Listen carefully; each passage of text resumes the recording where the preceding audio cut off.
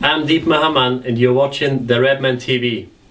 So Liverpool Football Club is open for business and Daniel Sturridge is the first man in through the door. Um, very interesting one. I think we've known this one's been nailed on for a while, really, haven't we? Um, but great to see that, let's face it, the way that the, the Twitter works and the way that all these ITKs do is so many transfers are fucking nailed on, aren't they? Gaston Ramirez nailed on. Complete horseshit. Complete and utter horseshit that it was. Um, no, so it's great to see us actually be rumoured to be linked with a player and then actually just fucking sign them without any sort of hysteria or, or rigmarole or whatever. You know, transfer window opens, get him signed, get him in.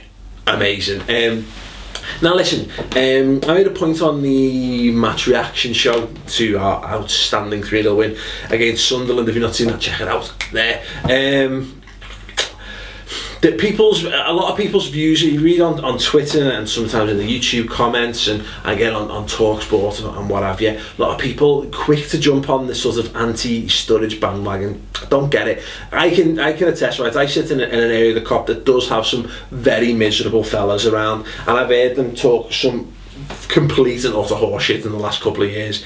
Um, the, the, the air around Daniel Sturridge's sign very much a positive one. I've not heard anyone within the city limits describe it as a bad buy. I think a few people are a bit sort of no, uh, the people aren't getting carried away. People aren't saying, "Oh, hallelujah." You know, it's not like Daniel Sturridge is going to come in and be the be all and end all answer to every one of the Liverpool's attacking and goal scoring problems. No, but it looks to most people like a pretty solid signing. Something that Liverpool have been crying out for in the centre forward positions for years is pace. Daniel Sturridge has got pace. If nothing else, he's a physical presence with pace. Look, Jonjo Shelvey's been playing as, in, as part of the front three in a few games this season.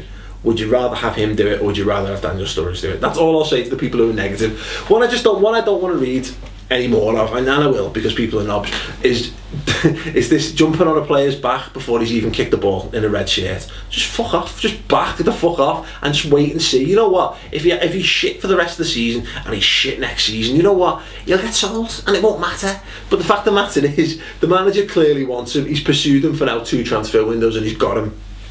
He clearly knows the player he's got, and we looked at this a few weeks ago, he's got sort of roughly a one in three goal scoring record. Now, look, Luis Suarez is clearly our main goal scorer and he's our main goal scoring threat. That's fine, no problem with that. What we don't have is goals around him, or we don't have enough goals around him. The fact that Raheem Sterling scored only his second goal for Liverpool and he's pretty much been first name on the team sheet in the front three for the entire season just screams the fact that we don't have enough goals around Suarez a one in three player is, is very much what we had in Dirk Kuyt, it's what we had in Yossi Benayoun, to a certain extent Raul Meireles, again to a lesser extent the likes of, of Riera gone past, Patrik Berger, years and years gone, gone past, Vladimir Smicer. These are the kind of players that we need to have and uh, there's the potential there at age 23 that he could go on and be a 20 goal season centre forward plus fantastic but until that point if he does what he does if he does for us what he did at Bolton that's a very shrewd little purchase. And those sort of like, if he can get sort of between five to ten goals, ten might be pushing it a bit between now and the end of the season in all competitions. What a buy! And people will be people, people will be ready to eat some humble pie. Hopefully by then. But all I'll say is just look, just get off. If you don't, if you don't think it's a great buy, just shut up. Shut up and let the man do let his football do the talking. Is all I'll say. Um, anyway, let us know your thoughts. I've said shut up. But if you do really, really dislike Sturridge and you want to have a rant about it, comment section. That's where those rants belong. Um, just use this as a little space. Like imagine go, it's like going into a big open empty room and you're really stressed and screaming.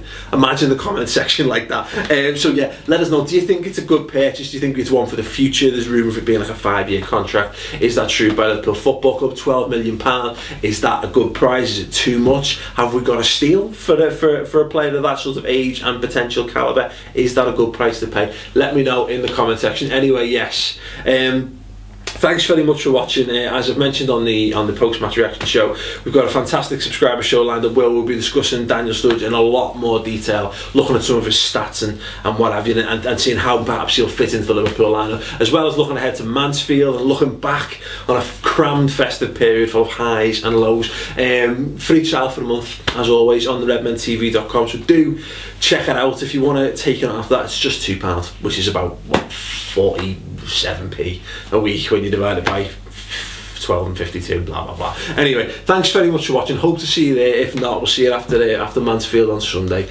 ta